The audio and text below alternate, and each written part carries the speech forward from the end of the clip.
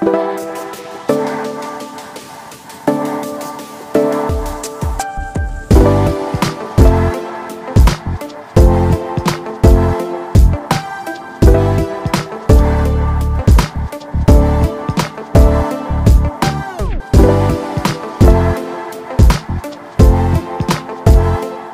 Hey guys, so because of uh, or overwhelming responses and um, inquiries about the follow up with Tannus Armor from Tannus, um, I thought I'd just shoot this quick little video um, and unboxing um, their new compound. So, quick backstory 30 seconds. Let's see if I can do it. I had high hopes for Tannus Armor. I have I believe in Tannus, and uh, I would love to be proven wrong for sure for the future because it would change the cycling industry. But Tannus armor was going to prevent uh, punctures. It's thick foam, thin on the sides to, to offer um, sidewall protection and puncture protection. The problem is they recommend uh, de- completely deflating your tires uh, every single time you use them. So at the end of your rides, deflate your tires.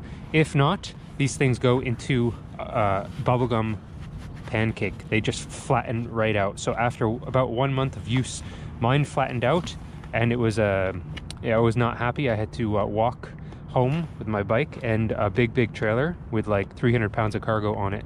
Um, so usually I swear by Mr. Tuffy's or doubling or tripling up with tubes. Um, until this came, I had high hopes for it. Now I don't, unfortunately. So customer service, um, they were awesome from Tannus. They sent a new set right away um, to try with the promise that it's a new compound. When I asked what that means, they never got back to me. So, anyways, so this is what they are.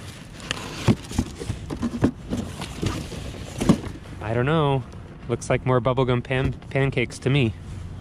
So that's what they are. So these obviously are uh, virgin, so they have like an inch to an inch and a quarter worth of foam in the middle and then thin sidewalls for sidewall protection. Anyways, so, so, they say that's a new compound. It looks and feels exactly the same. Um, so that's that's pretty much all I have to report back to you. If you guys want to come, if you're in Montreal or in the area and you want a set of uh, untouched virgin uh, Tannus armor, call me. Um, you can even have this if you want. It's a it's a bit flat. It did spring back, so they said, "Oh, put it in uh, warm water, set it in the sun for uh, a couple of days." I have no time for that. I did it. After two months, it bounced back maybe to um, about three times to four times the width of the sidewall. So what is that going to do as soon as I put this back in my tire? I can't. I can't deal with that, man. I ain't got no time for that.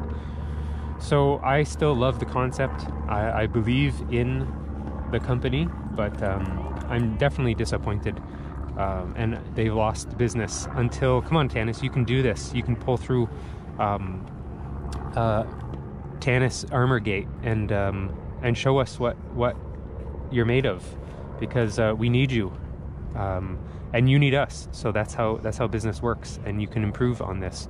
So anyways guys if, if you want to to go ahead and, and use this for your uh, puncture protection uh, I would recommend not I'd go with uh, doubling or tripling up with an old tube, um, or and or Mr. Tuffy. So that's what I would do uh, instead of getting uh, buying into uh, Tannus. And I think they're like 80 bucks each in Canada, 90 bucks each. I forget what they were, but anyways, I'll, I'll give you a deal if you want to come and pick them up downtown Montreal. I'll give you a good deal.